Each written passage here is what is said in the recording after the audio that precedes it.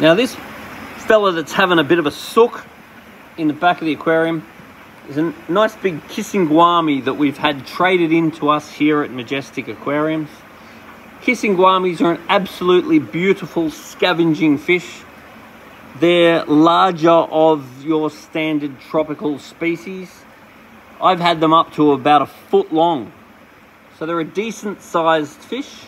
Not the largest of the gouramis, but they're certainly up there. And they've got a big kisser mouth on them. And the kisser mouth is used for scavenging. So they're a wonderful scavenging fish. They'll scavenge the surface of any aquarium, help to keep it clean. Now this fella's only just come in, so he's just settling in at the moment. Typically you get them small. Getting a little group of them is a very good way to go. Getting small numbers of them like a pair can be hit or miss. Because you get a pair of them, they might get along, but then the other one might bully one.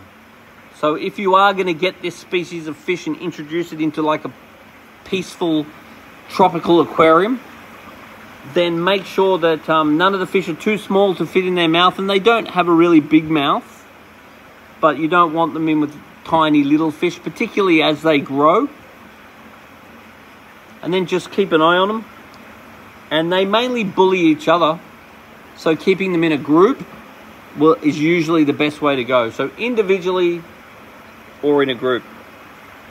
So this guy will settle in and he'll be a beautiful addition to any aquarium that's a bit more on the peaceful side. Usually kept with things like silver sharks, clown loaches, silver dollars, that sort of gang.